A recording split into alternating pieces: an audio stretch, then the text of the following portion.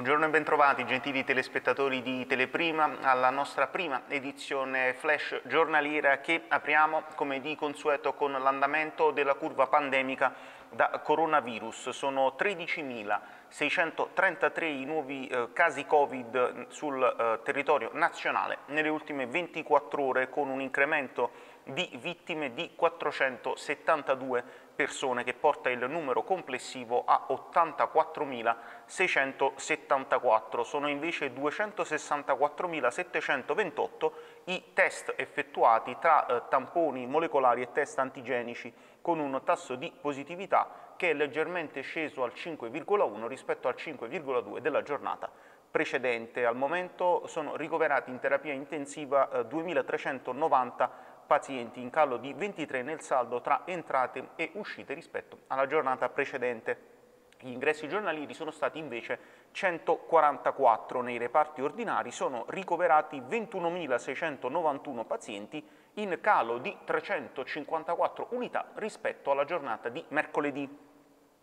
Invece in leggero aumento in Campania il tasso tra positivi e tamponi che sale al 7,99% rispetto al 7,8% della giornata precedente. Nel consueto eh, bollettino di aggiornamento quotidiano diramato dall'unità di crisi eh, si registrano 1106 nuovi positivi, di cui 91 identificati con test antigenici rapidi, eh, su 13.834 tamponi eh, eh, complessivi eh, di queste persone, 64 sono, eh, sono sintomatiche, 46 eh, invece sono i deceduti, di cui 7 nelle ultime 48 ore e 39 deceduti in precedenza ma registrati soltanto nell'ultimo eh, bollettino. I guariti invece eh, fanno riferimento a un numero complessivo di 10.105. Per quanto riguarda invece il report di posti letto su base regionale, eh, su 656 posti di terapia intensiva eh, ne sono occupati 104, mentre invece su 3.160 posti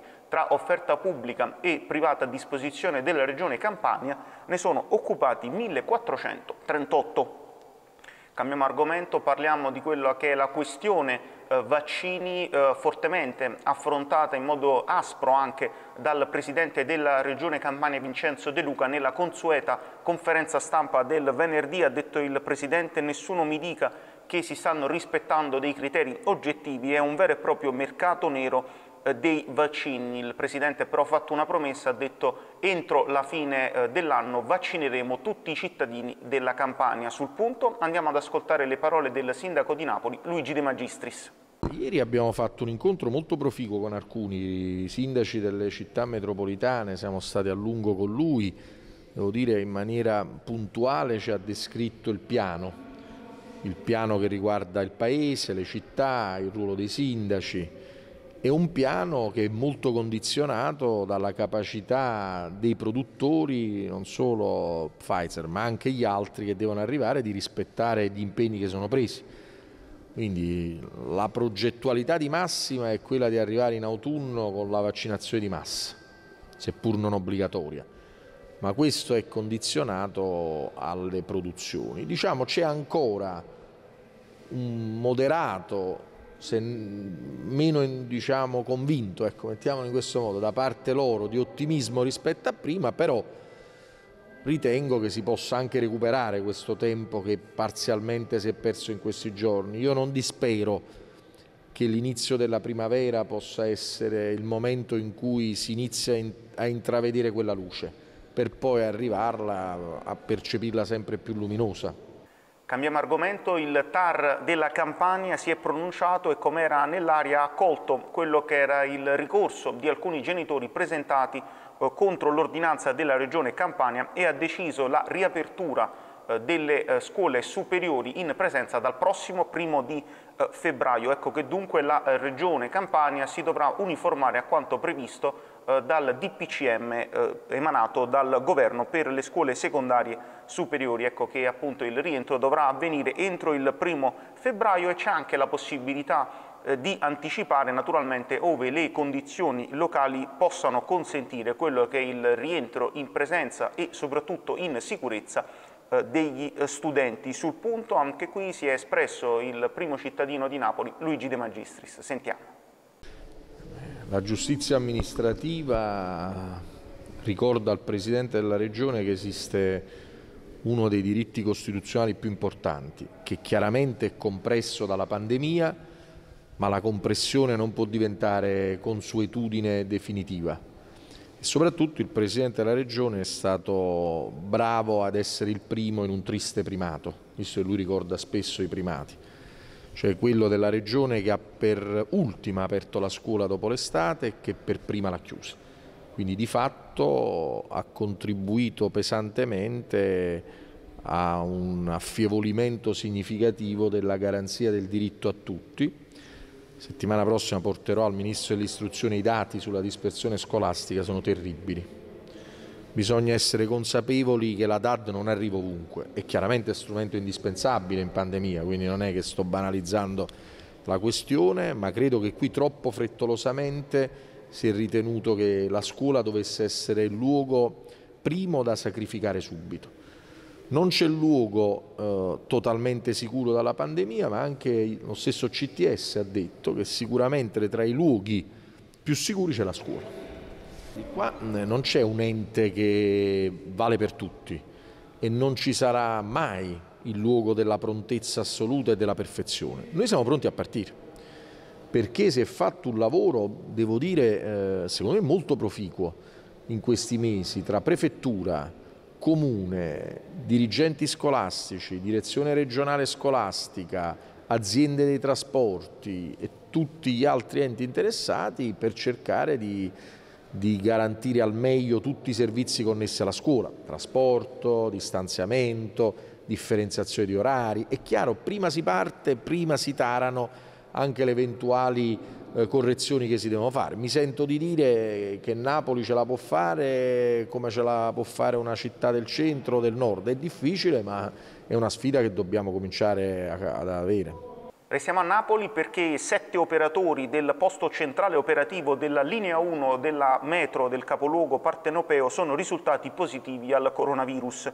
La NM, fatto sapere in una nota, ha sottoposto circa 40 dipendenti a due tamponi di controllo, ovvero 15 dipendenti della centrale e 25 che per diversi motivi si sono trovati in centrale nei giorni scorsi. La necessità è, da, è, nata dalla rilevazione di positività di un dipendente asintomatico che appunto in quanto tale non era consapevole di avere il virus.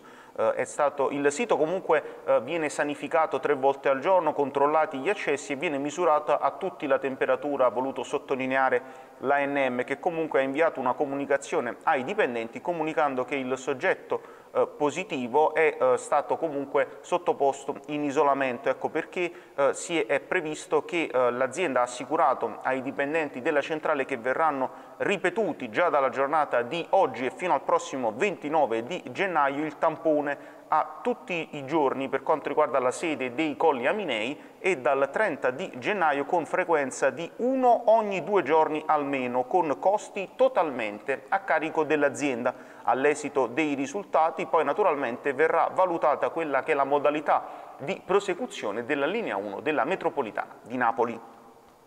A Caserta l'ASL ha diramato il consueto bollettino di aggiornamento eh, coronavirus sul territorio. Nella giornata del 22 di gennaio si certificano 104 nuovi positivi cui si aggiungono 294 guariti e 8 deceduti. Come potete vedere dalla grafica sono, eh, sono stati 1748 i tamponi processati con un tasso di positività del 5,9% comunque in discesa rispetto a quelle che sono state le giornate precedenti. Maddaloni continua a essere eh, la città della provincia con il maggior numero di positivi con 280 persone contagiate, seguita da Mondragone con 188 e da Caserta con 171.